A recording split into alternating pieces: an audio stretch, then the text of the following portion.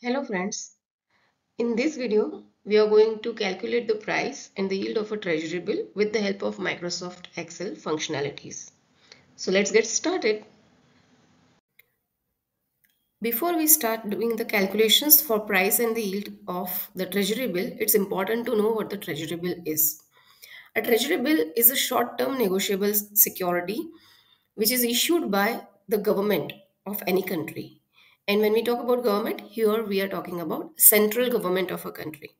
They are used for short-term funding as well as to control the money supply in the economy. They do not pay interest on maturity. However, the treasury bills are traded at discount and that's how you initially pay less than the par value.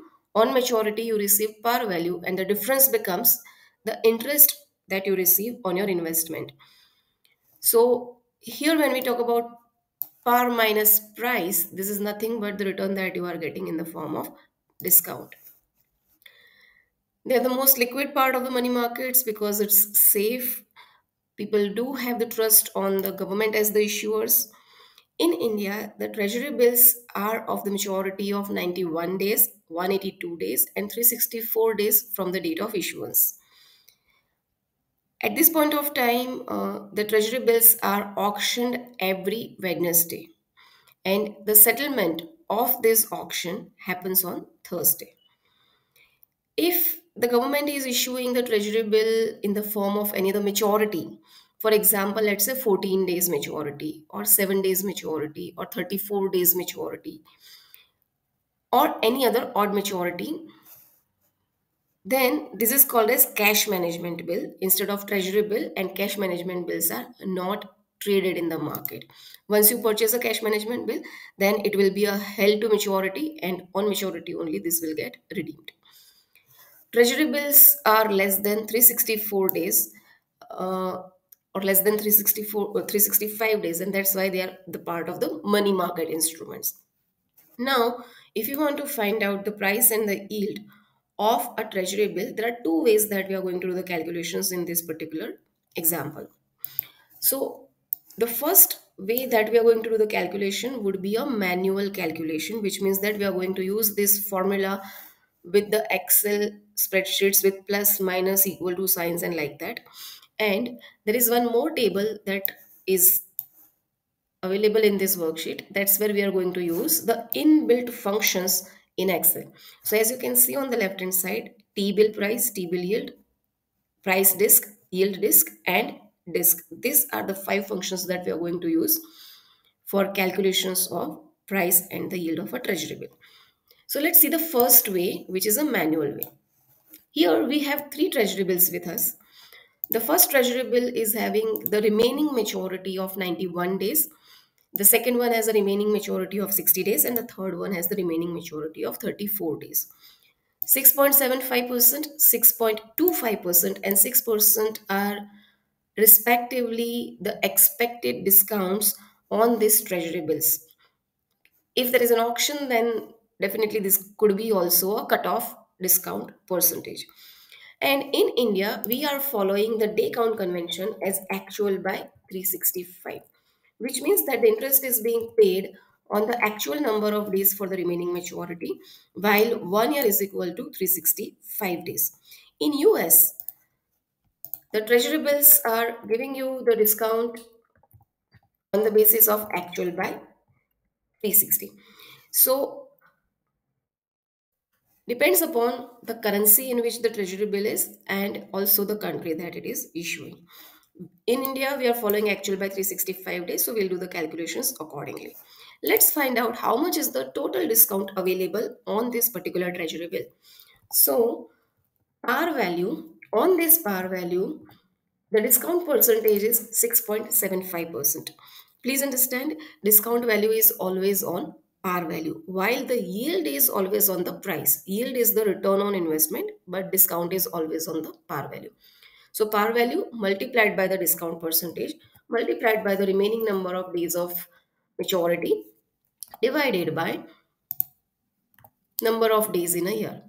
So par into the discount percentage into 91 days divided by 365 actual by 365 that's how we get 1.683 1.027 and 0.559 which means 1 rupee 68 paisa 1 rupee 3 paisa and 56 paisa as discount now this discount is initially taken away from the par and the price is being paid so as it is discounted from the par and the price is being paid, we can simply calculate par value minus the discount. And this can give us the price. We can use the price formula which is given on the right hand side also to directly calculate the price. So we can just take 100 into 1 minus the discount multiplied by 91 days divided by 365 days. So in this formula, what we have done is that we have calculated the interest for 91 days over 365 days period for a year and 91 days is for actually the interest period for this treasury bill and that interest we have taken out from the par value. So this also is giving us the same value. Now let's find out the yield. Let's find out how much is the return on investment. So yield is basically the interest on the price how much is the return on your investment that you are receiving. So the interest that you have received is 1.683, which means 1 rupee and 68 paisa. This we have received on the price, which is 98 rupees and 32 paisa.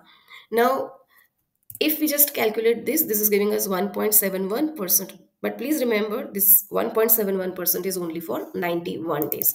So we need to annualize this by multiplying the number of days in a year which is 365 in this case if you are following actual by 360 method then in that case it will be 360 in india it is actual by 365 in us it is actual by 360 so 365 days divided by the remaining maturity of the treasury bill. So 6.87 percent 6.31 percent and 6.03 percent. When we are comparing the yields with the discounts Okay, please remember one thing that because the treasury bills are traded at discount, the payments are usually lesser than the par and this is a usual scenario world over except in those cases where there is a negative interest rate scenario. Whenever there is a negative interest rate scenario the price that you will be finding would be more than par value. But in majority of the cases except from those countries where the negative interest rate is there you will always find the price of a treasury bill lesser than the par and that's how the yield will always be higher than the discount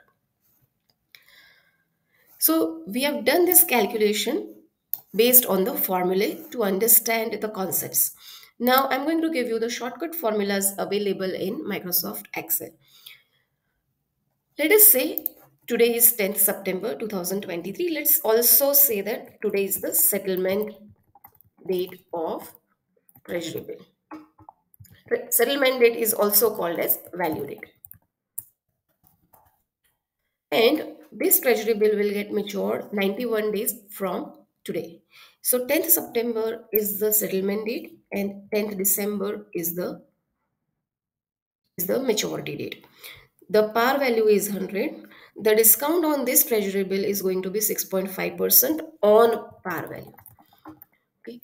So what should be the treasury bill price? Now there are two inbuilt function available which is treasury bill price and treasury bill yield, T-bill price and T-bill yield. Now these functions when we see we get tempted to use these functions but we must understand that these functions are calculating the T-bill price and T-bill yield based on actual by 360 day count convention. So if we are using T-bill price, it is asking three parameters. It is asking three inputs. One is the settlement date. Another is the maturity. And the third is the discount. This discount has to be in percentage. So please don't type 6.5. It has to be 6.5% or it has to be 0.065. Okay, now as you can see, this is not asking for any other parameter apart from these three. It is not asking for day count convention. And that's why this particular formula inherently assumes actual by 360 day count convention. So based on actual by 360 day count convention, the treasury bill price is 98.36. T-bill yield. Again, the same similar kind of parameters or similar kind of inputs. Settlement date, maturity date. Here, instead of discount, it is asking for a price. So let's assume that the price that we calculated, the same price at which the T-bill is traded. So if it is traded at 98.36 in market, okay, if if you are talking about US, then they should be $100 par 100 US dollars par value, which means that $98.36 is the treasury bill price. Then in that case, the treasury bill ROI or treasury bill yield is 6.609%.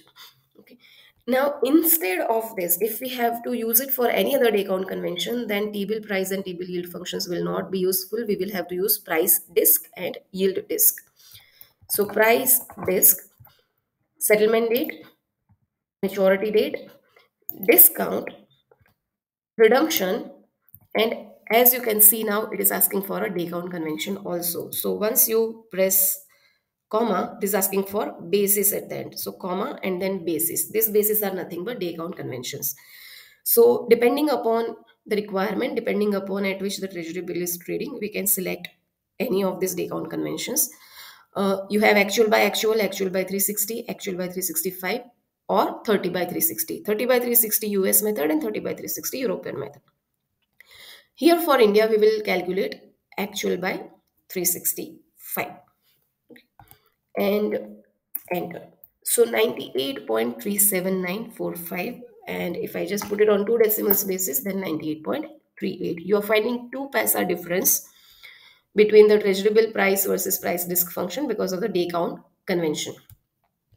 And yield disc, settlement, maturity. Now, again, in this case, we are going to use this price, which we calculated with the price disc function. Please understand, we have to use the same day count convention for price and the yield. Please do not pick 98.36 here. Okay, we have to take 98.38, which we calculated a few moments before. And redemption is 100 and basis is 3. Okay, so this is the way that we can calculate price and the yield. Now, based on these inputs that we have, we can also back calculate the discount and see whether our calculations are correct or not. So disc, disc is a function which gives you the discount of a treasury bill or a discount of a discount security. Settlement, maturity, price is 98.36, redemption is 100 and basis is now this we are doing a calculation for T-bill price and T-bill yields. So I'll take basis as 2 because this is for actual by 360. So 6.5, yes, this is matching with what we took as an input. And let's also calculate discount for actual by 365. So settlement date, maturity date, price, redemption 100 and basis in this case, we are going to use 3. So when we say 3, this is actual by 365. 6.5%. This is how that you can calculate the price and the yield of a treasury bill. Now, if you are using this price disc, yield disc and disc, disc function, this can be useful for any deep discount security. So it doesn't matter whether it's a treasury bill whether it's a cash management bill, whether it's a commercial paper, whether it's a certificate of deposit, or any zero coupon bond. So, any deep discount security, you can use the price and the yield calculations with the price disc, yield disc, and disc function. So this is what that I had to share with you about the treasury bill price and the yield calculations. I hope this video is useful to you.